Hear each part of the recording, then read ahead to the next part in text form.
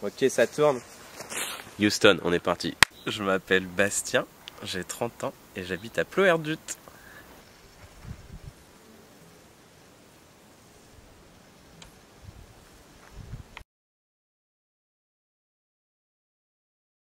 L'objet de cette euh, asso, sa raison d'être, c'est de promouvoir la permaculture.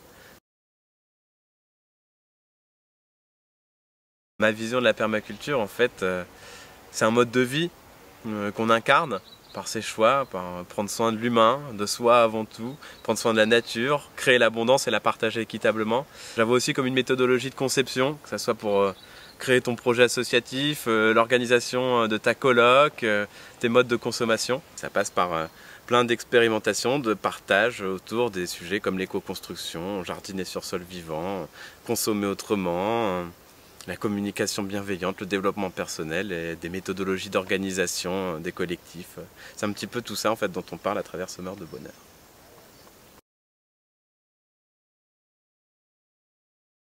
Je suis originaire du nord de la France euh, et j'ai grandi en Picardie jusqu'à mes 20 ans à peu près.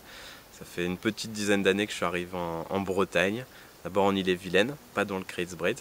Et là, ça va faire deux ans que je suis arrivé dans le Kreids, euh, à Guern dans un premier temps, et maintenant à Ploerdut depuis euh, quelques mois, c'est tout récent.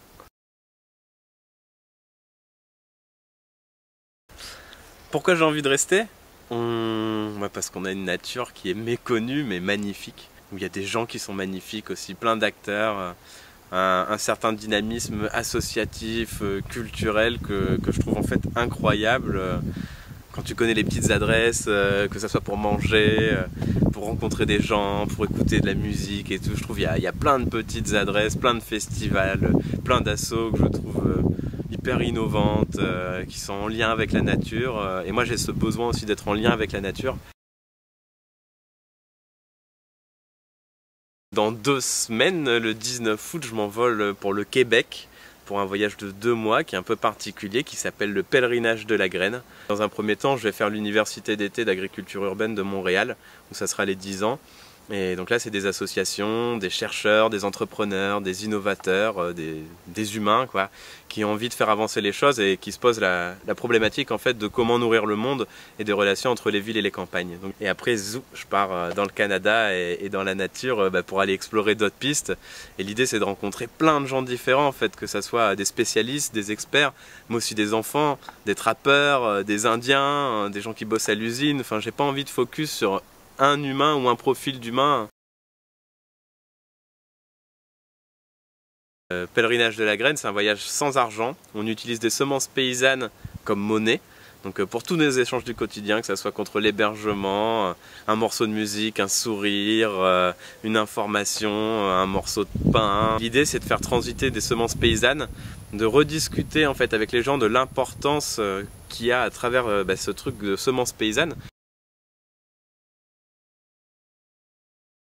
Mettre en avant en fait comment les humains sont en lien avec la nature, plus précisément avec les graines, parce qu'en fait tous les jours on est en lien avec les graines, quand on mange on s'en rend pas forcément compte, mais quel que soit à peu près le, produit végétal, on est en lien avec une graine. Non, moi je pense que c'est un, projet de, rêveur, mais que c'est une utopie concrète en fait. Ce voyage-là, il a déjà été réalisé en France.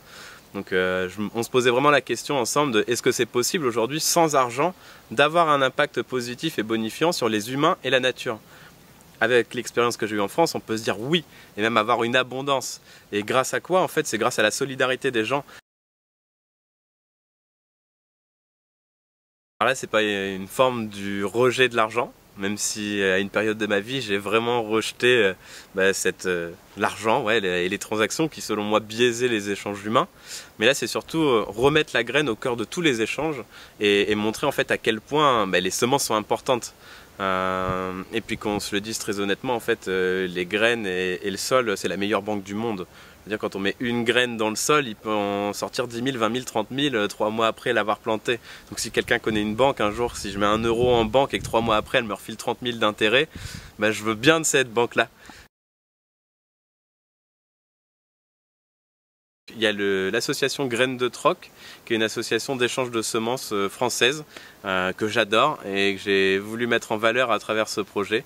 Euh, où ils sont soutiens. Donc euh, vous pourrez me suivre soit sur Facebook, je pense, où je balancerai des infos, euh, ou soit sur le site de Graines de Troc. Est-ce que tu peux... Non. tu pourrais faire une petite danse autour de l'arbre, s'il te plaît? Une danse autour de l'arbre?